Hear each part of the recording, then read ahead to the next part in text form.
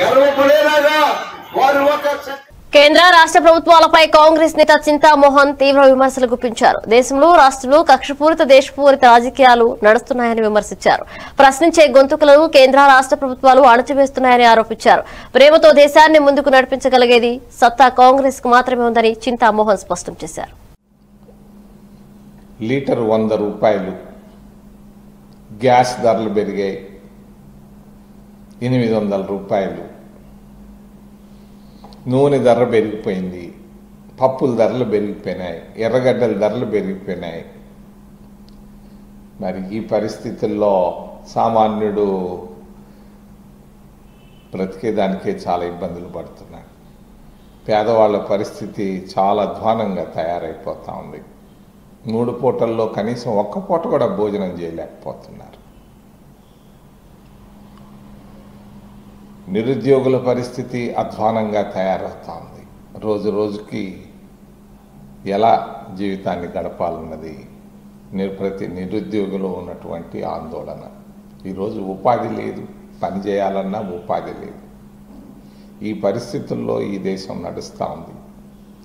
కేంద్ర రాష్ట్ర ప్రభుత్వాలు రెండు విఫలమైనాయి.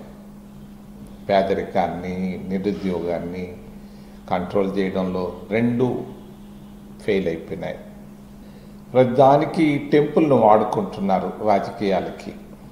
అయోధ్య అయోధ్య టెంపుల్ని ఉత్తరప్రదేశ్లో ఉన్న టెంపుల్ని ఆంధ్రప్రదేశ్లో ఉన్న రామతీర్థాన్ని రాజకీయ ప్రయోజనాల కొరకు వాడుకుంటున్నారు వల్ల Visakhapatnam steel plant. Visakhapatnam steel plant అనేది చాలా ముఖ్యమైనటువంటి అభివృద్ధి కార్యక్రమం కాంగ్రెస్ పార్టీ తీసుకొని వచ్చింది. కొంతమంది చెప్తుంటారు మరి ఉద్యమం ద్వారా వచ్చిందని. ఉద్యమం ద్వారా వచ్చి ఉండొచ్చు కానీ తీసుకొని వచ్చింది విశాఖపట్నం స్టీల్ ప్లాంట్ని తీసుకొని వచ్చింది కాంగ్రెస్ పార్టీ. మరి ఇందిరాగాంధీ పంతొమ్మిది వందల డెబ్భై ఒకటి జనవరి ఇరవయో తారీఖున దీనికి పునాది రాయి వేయడం జరిగింది. దాన్ని పూర్తి చేయడం జరిగింది. ముప్పై మూడు వేల ఎకరాల్లో.